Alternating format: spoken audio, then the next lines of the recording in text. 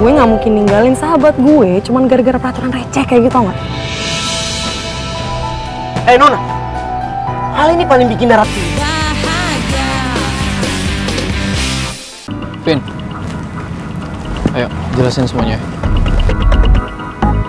Thanks Ki.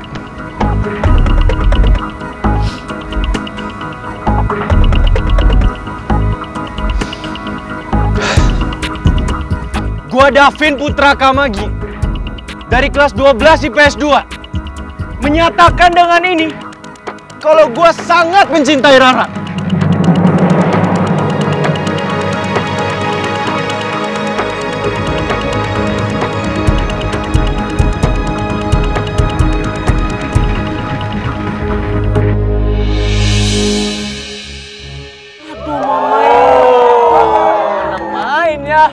Walaupun gua tahu dengan jelas apa peraturan IPA dan IPS di sekolah ini. Tapi gua akan tetap mempertahankan hubungan gua sama Rara. Gua akan tetap mempertahankan cinta gua ke Rara. Dan satu hal lagi.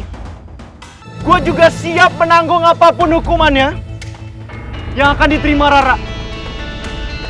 Karena satu pun di antara kalian Gak ada yang boleh nyakitin cewek gua.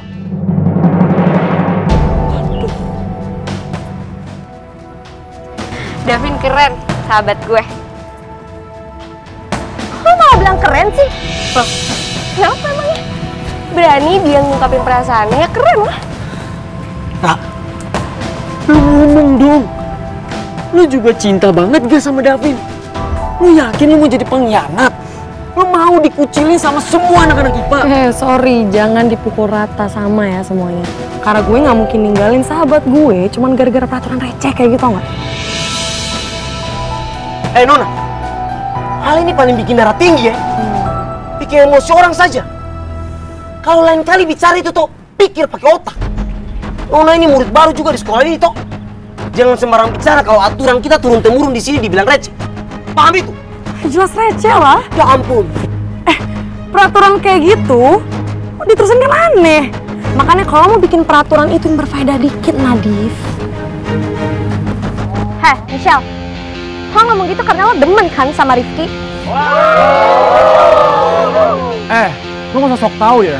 Michelle nggak pernah suka sama Desert Boy.